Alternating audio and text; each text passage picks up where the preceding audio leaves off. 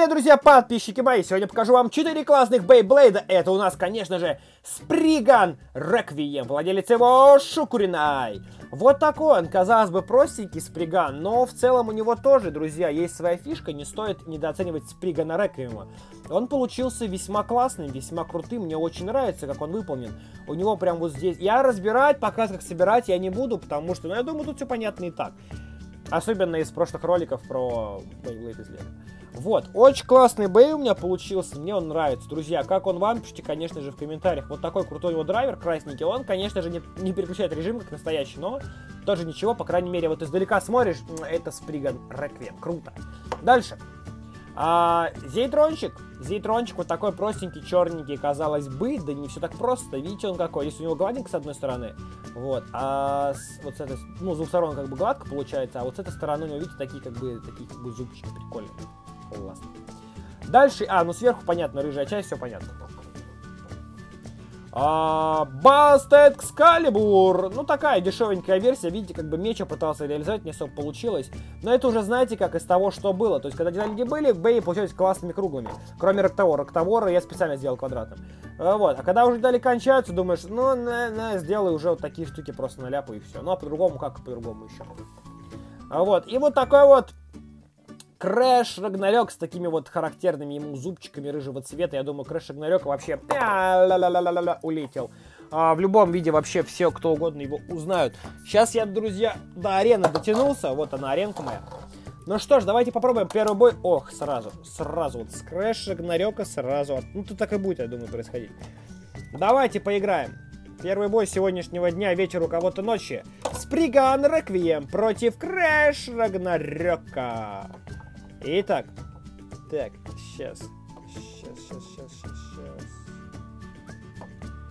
Ну, я не знаю, он не засовывал. Хотя в теории он засовывал. Он засовывался, я же тестил его. Вот. Ну и все, и сразу полетели детали в мясо. Куда улетели? О, сразу отлетел еще кусок. Просто все, друзья, минус три детали у Крэш Рагнарёка, я думаю, он сломался. А вот Спригган держится. Спригган за счет своей гладкой формы, таких деталей. Вот он, кстати, хорошо держится. Ладно. Сейчас я буду опять долго скручивать эту историю. Я не буду проматывать. Все показываю как есть, друзья, одним дублем, так душевнее. Зачем нужны монтажи, склейки, то есть, ну, come on, зачем? В данной-то ситуации, ну что мне обрезать? Ну зачем мне это обрезать? Вы должны, понимаете, в чем суть? Вы должны видеть, что все по-честному. То есть, вот, доверие абсолютно. Итак, следующий бой давайте проведем. Сприган Реквием против э, Galaxy Zaytronчика. Ого, Galaxy Zaytronчик сразу скачал спускалки. Ну-ка, ну-ка, Сприган, давай. Вот. Чем тяжелее бейт, тем проще ему будет соскакивать с вашей спускалки. А Сприган получается как будто белый. Он так вращается быстро. И такое чувство, как будто он реально белого цвета. Так, столкновение было. Ну и в этом раунде проигрывает а, Сприган, при том, что а, Зейтрон же был первым, да, запущен? Давайте-ка перезапустим еще раз их.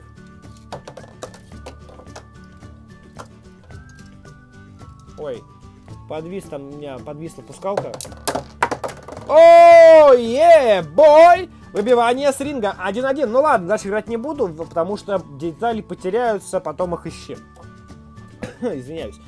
В общем, Последний давайте проведем бой сегодняшнего дня вечера у кого-то ночи. Это будет Сприган Реквием против Бастет Скалибура. Вот это будет очень круто, я надеюсь, что вам понравится эта тема. Но если не понравится, то не пишите плохих комментариев, друзья. Хм, я прикалываюсь. Я знаю, что у меня самый лучший.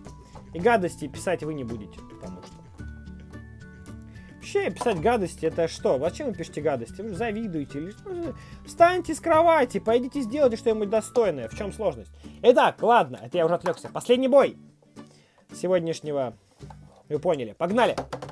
Вот, я понял фишку. Чем тяжелее Beyblade, а, ну, типа Beyblade, тем он, а, ну, опять буду, ну, я, короче, уже руками буду играть.